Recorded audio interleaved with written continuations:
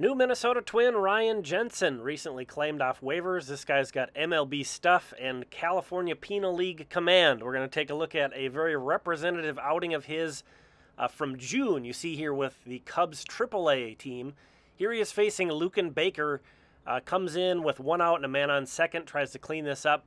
Baker was the International League MVP, made his major league debut with the Cardinals this past season. Uh, gets ahead of him kind of as a waist curveball there, really featuring the curve early, and then hits him with that 96 mile per hour fastball up to strike him out. A really good, really good at bat there for Jensen. Uh, things didn't go as well from here. Gets ahead 1 2 on the next guy, but ends up walking him. Um, you know, I guess, you know, not a big deal. First base is open. You've got two outs. If you don't want to challenge a guy, uh, but a couple of these pitches here, Jensen didn't really seem pleased with where they ended up. Uh, kind of continuing on, he 2 1 count. He hits the next guy in the ribs. That's got to feel uh, real great. 96 in the ribs to load the bases. So uh, this outing starts off great with Baker strikeout, but then he loads up the bases here with two down. Uh, continuing on here, does kind of get back to the fastball. 97, and that's legit. That's uh, you know, we've got the baseball savant data. That's the tracking in these AAA uh, stadiums now. These are legit readings. 97 again, consecutive 97 mile per hour fastballs. Just stops messing around. But you can see Jensen, even though he got gets out of the jam without giving up a run, isn't pleased with himself at how that went.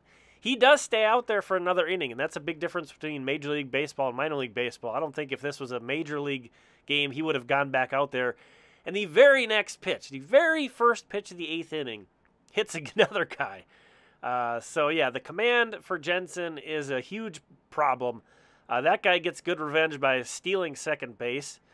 Uh, Jensen then walks the next guy on four pitches. So, again, this is another scenario in which no way in a major league game is he probably still out there. Former Twins great Taylor Motter up next uh, and he gets him to pop out a huge out. You know, obviously with no outs, two men on, nobody can advance. That's a, a nice pitch, a, a curveball he gets a pop up on. Uh, continuing on in this inning, this is one of those where you know you wish it was hit harder. You know, ironically, you wish you would have hit that one harder. You could have got a double play on that one since it was kind of a slow roller. They only get the one out. That had to be a little bit frustrating for Jensen. He's out there battling, gets a good outcome, but it can't quite end the inning. Falls behind 3 0 against Juan Yepez, another guy who's uh, got some major league experience, taking all the way. Uh, battles back, you know, consecutive strikes. He's in this thing. Yepez fouls one off.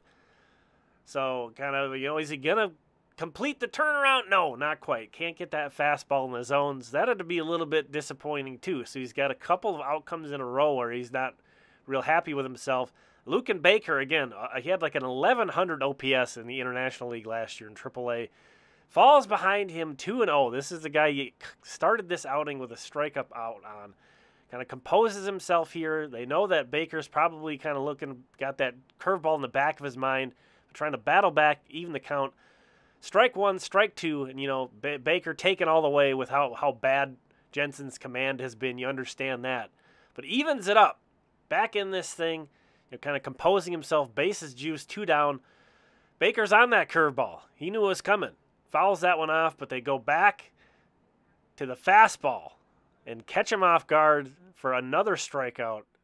Jensen, once again, he gets out of this jam as well. So no runs in this outing, but he, you can tell he's not real happy with himself. And I'll talk about that a little bit more in just a moment. This is a guy who doesn't have good command, but I don't get the sense that he's like accepting the fact that walks are okay or something. Uh, but here's some the baseball savant data from this outing. Uh, 97.5 miles per hour was his max. He was only in the zone on 38% of his pitches on this outing. I don't super trust the uh, the pitch type breakdowns right now for AAA, but th- those things I do trust. This guy was a big time prospect, a former first round pick. You saw there some of the rankings in the Cub systems from Baseball America. And he had big time control problems at Fresno State early in his collegiate career. Uh, but clean those up. You see, he went down to a 2.4 walk per nine, excuse me, in 2019, right before he was a first round pick. Kind of started off too, and in 2021, the walks were pretty manageable in the minors, but then they've gotten out of control. I've highlighted last season 7.6 walks per nine. You know, but and he transitioned to the bullpen as well that year. Uh, last year. So something to keep in mind as well. This guy isn't very new to relief pitching. Uh, but anyway, there's Ryan Jensen. I'm guessing the Twins would love to try to pass him through waivers unclaimed so he gets off the 40 man roster, but in the organization. Whether or not they can pull that off, I'm not sure. Uh, but for now, in the organization, they claimed him off waivers. So Ryan Jensen, uh, there he is, right handed reliever. Thanks for checking this, this one out. We'll talk again soon.